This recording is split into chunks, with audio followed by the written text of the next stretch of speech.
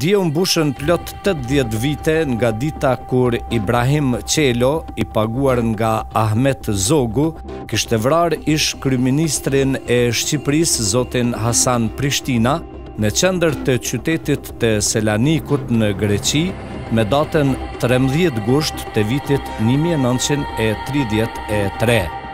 Vrasja e këtij personaliteti të madh shqiptar ishte vazhdimësi e shumë vrasjeve që kishte bërë Ahmet Zogu, duke përmendur këtu Luigj Gurakuqin, Bajram Currin dhe Avni Rustemin. Gazeta greke Maqedonia e Re me datën 14 gusht 1933 kishte sjellur fotografinë e Hasan Prishtinës të vdekur dhe fotografinë e vrasësit Ibrahim Çelos. Në shenjë respekti dhe nderimi për këtë figurë kaq madhore të kombit shqiptar, dje Mehmet Prishtina përmes ambasadës greke në Shkup kishte organizuar një ceremoni përkujtimore tek shtëpia e Hasan Prishtinës dhe vendi ku u vra, në cilën morën pjesë shumë personalitete nga Kosova, Maqedonia dhe Shqipëria.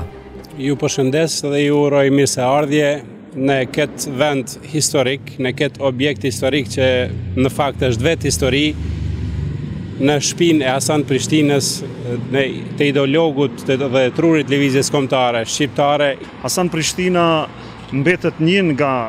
themeluesit e ideologët e idesë së çlirimit kombëtar të krijimit shtetit shqiptar. Nga këto përpilime dhe nga politike të të cilat i përpiloi Hasan Prishtina gjatë periudhës 1908-1933 morën shembull edhe presidenti amerikan me 14 kërkesat të, të, të njohura.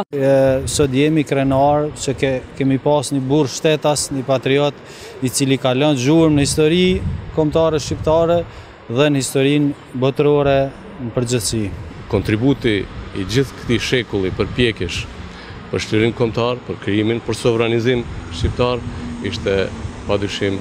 i Hasan Prishtinës. Pra, unë shfrytëzoj rastin që t'i përgëzoj gjithë shqiptarët që frymojnë frymën hasaniste se gjaku i Hasan Prishtinës nuk humbet, nuk tretet por edhe pas 100 vjetëve është tregues se si ndërtohet shteti, si bëhet shteti, si duhet shteti,